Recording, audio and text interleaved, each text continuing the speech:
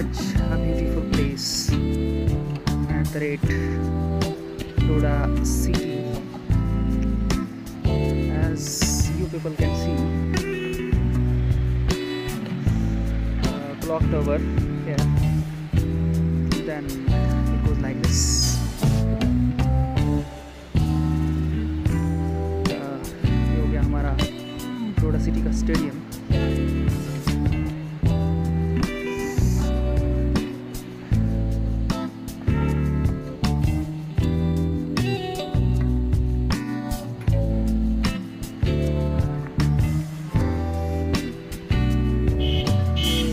போகிறதுக்கு